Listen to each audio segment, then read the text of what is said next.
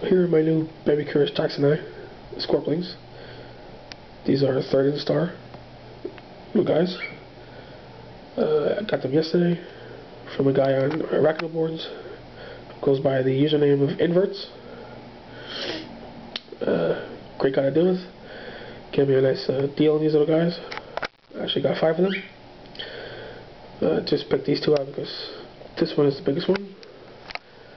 And this one is a chocolate morph. And you can see the obvious difference in color. I mean, obviously that was darker. Excuse me.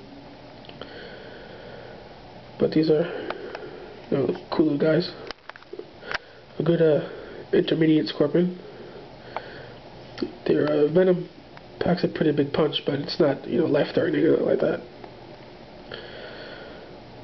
Uh, scale of 1 to 5, it's about a 2.5, maybe a 3. Uh, these guys love to eat, love to sting their prey. They uh, can be kept communal when they're older. These guys are actually separate. And these are the vials right here.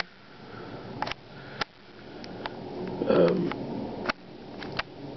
so yeah, um, their um, common name is the rusty thick-tailed scorpion.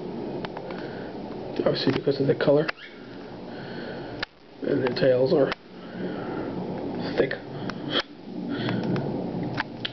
So yeah, that's about it. Thanks for watching.